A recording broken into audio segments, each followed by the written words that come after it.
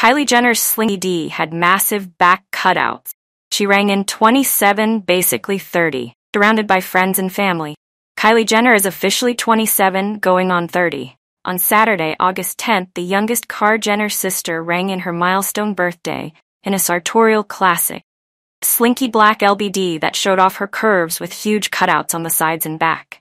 Jenner took to social media to share some behind the scenes Polaroids from the low key celebration along with a reference to a viral The Kardashian.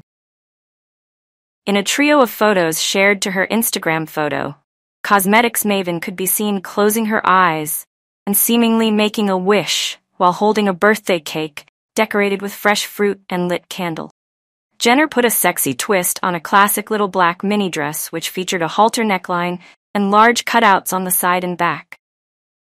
The Khy designer, who wore her dark hair in voluminous waves, tucked behind her ears, could be seen her ears, could be seen celebrating with her mom Kris Jenner in the third photo. 27 basically 30, she cheekily captioned the post. Filled with love and so grateful. Thank you, God.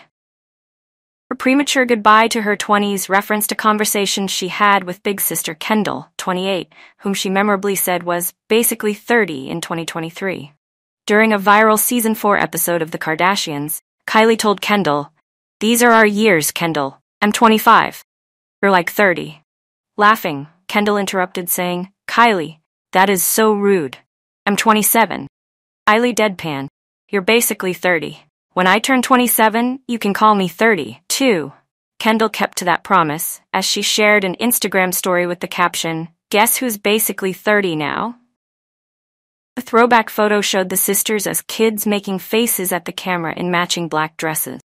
Jenner's BFFs Hailey Bieber, Stassi Karanikolaou, Yris Palmer, and Lauren Perez also shared behind-the-scenes photos and videos from the festivities, including a shot of some cookies decorated to look like Jenner's face.